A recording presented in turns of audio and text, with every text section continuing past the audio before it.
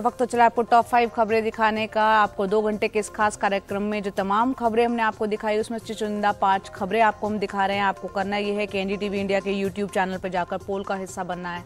किन खबरों को विस्तार से आप देखना चाहते हैं? पहली खबर नो फ्लाई लिस्ट में पाकिस्तान के पूर्व प्रधानमंत्री इमरान खान, विदेश जाने पर रोक।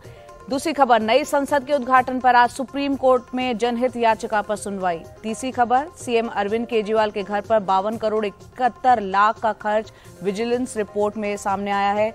चौथी खबर, कर्नाटक को कल मिल सकते हैं 24 नए मंत्री। पांचवी और आखिरी खबर, क्रिकेट जगत से टी लीग में आज मुंबई बनाम गुजरात का मुकाबला।